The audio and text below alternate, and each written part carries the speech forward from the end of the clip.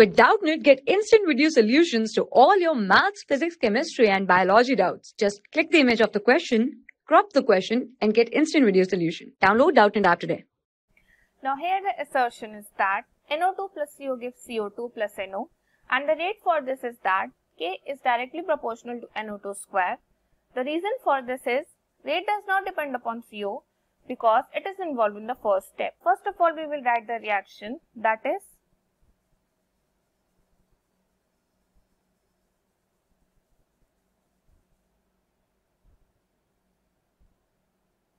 Now, experiment shows that this is the second order reaction and the rate of reaction does not depend upon the concentration of CO.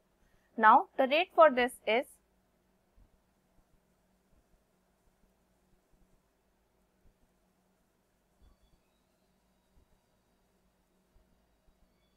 Now here CO is having its power 0 because the rate of reaction does not depend upon the concentration of CO. So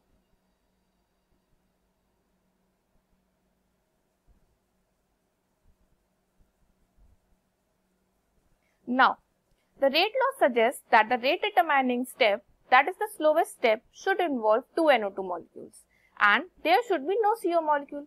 Keeping this in mind, following two-step mechanism has been suggested. Step 1.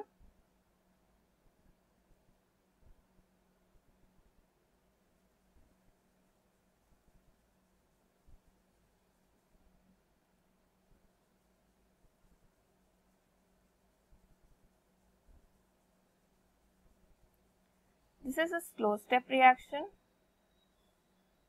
Step 2.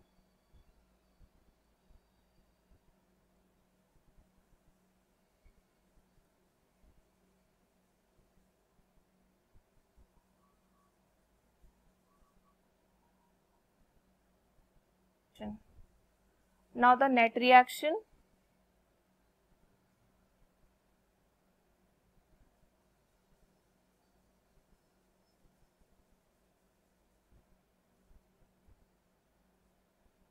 This is the net reaction.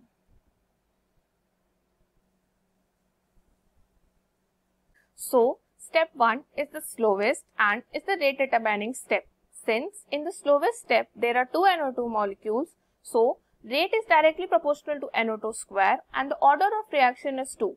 Now, the rate of reaction does not depends upon the concentration of CO because CO is consumed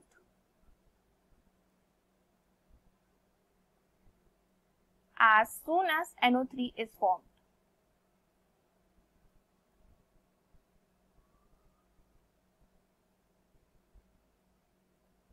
Now, what is an intermediate? Suppose if we are taking any reaction and if the major product formed in that reaction is used further in any other reaction, then that product is called as an intermediate. Here, NO3 is an intermediate because it is the major product. Now, moving towards the question, now your answer is if assertion is true statement but reason is false. So, your option 3 is your correct answer. For class 6 to 12, IIT JEE and NEET level. Trusted by more than 5 crore students. Download Doubtnut app today.